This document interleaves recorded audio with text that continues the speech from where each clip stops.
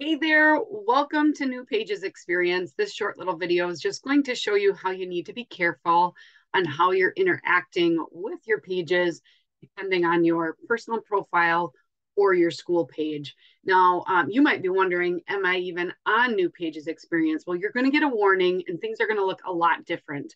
Uh, your page from your desktop used to look a lot like this, um, where you had some choices over to the left-hand side. Um, you still have some choices over the left-hand side, but it looks a lot different. Um, and this is the new pages experience. Now, I have some items over here that are grayed out. Why are they grayed out? Because right in the corner here, I'm interacting with this page as myself, my personal profile. If I want to manage anything on this page, I have to switch to the school itself in order to, you know, post out or schedule out anything you can see right here, I can switch to New Auburn School District to start managing it. I can click switch now. And then you can see up in the upper right-hand corner, it now has my little logo for my school.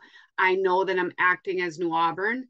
And I also have all of my choices available for me over here.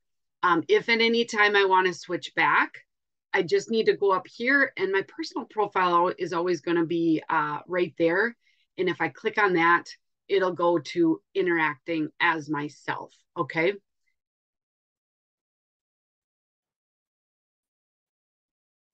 Now, when you're on your Facebook app, you're just your Facebook app on your mobile device, um, you're going to want to pay attention down here in the lower right hand corner because this is telling me now I am acting as myself. If I wanted to change that, I'm going to click on that picture and up is going to pop up this um, menu. And I'm going to click these three dots right here. And I am going to be able to select the page that I want to be uh, interacting as. And finally, once I select that down here in the lower right-hand corner, you're going to notice that now I am interacting as the school. I hope this tip helps. Uh, we really manage a lot on our mobile device from the new pages or the, the Meta Business Suite. And so I think that that will be really helpful for you in regards to not wanting to screw up who you're interacting as. But this is one of the biggest changes when it comes to new pages experience.